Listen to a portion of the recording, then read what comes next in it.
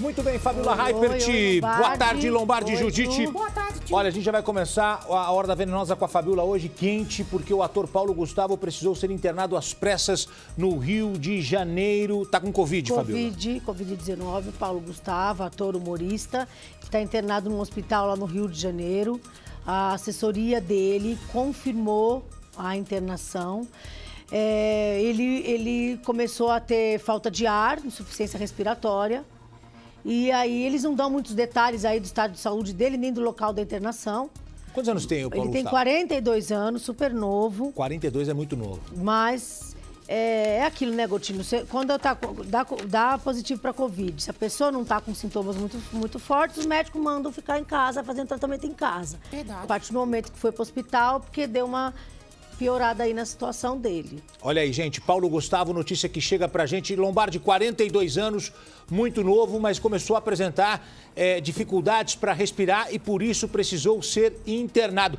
Deu sorte que conseguiu uma vaga no hospital, porque tem lugar que já não tem mais vaga. Verdade.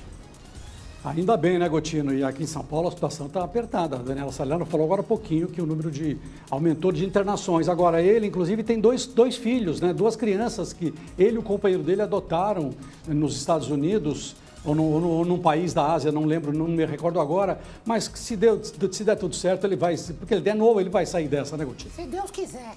Com certeza, a É nossa isso aí. torcida, né? É, a qualquer momento, novas informações com a Fabiola Hypert. Ô, ô, Fabiola, chegou agora essa notícia de que ele passou mal e foi pro Chegou hospital? agora essa notícia, Paulo Gustavo com falta de ar, foi para o hospital, está com Covid-19, tem somente 42 anos. Reage, meu amigo, reage. Ó, o pessoal está informando aqui que o dele, no caso dele, é com, com os filhos, é, o Lombardi tem razão, ele tem dois filhos, mas foi barriga de aluguel, não foi adoção, né? Ah, é verdade.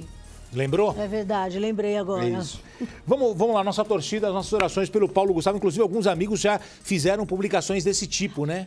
Sim, pedindo, o pessoal pedindo está pedindo aí, ajuda, a- pedindo oração. Pedindo para as pessoas é, fizeram, fazerem orações, para mandarem mensagens positivas para ele aí. Vamos ver aí o que vai dar. Tomara que ele saia dessa. Se Deus quiser.